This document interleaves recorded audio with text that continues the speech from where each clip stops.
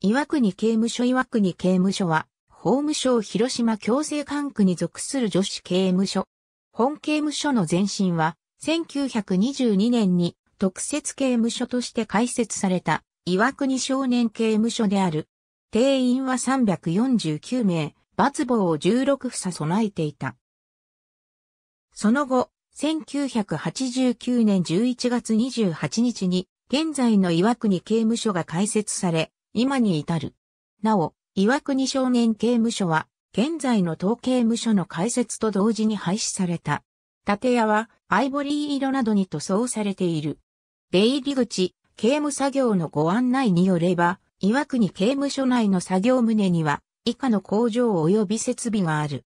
蒸気工場以外に、職業訓練施設があり、所内でフォークリフト及び介護サービスの訓練を実施している。刑務作業で製作された製品やその原料を保管するためと考えられる倉庫及び展示棟もそれぞれ一棟ある。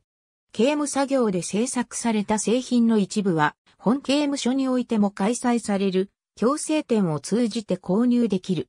ありがとうございます。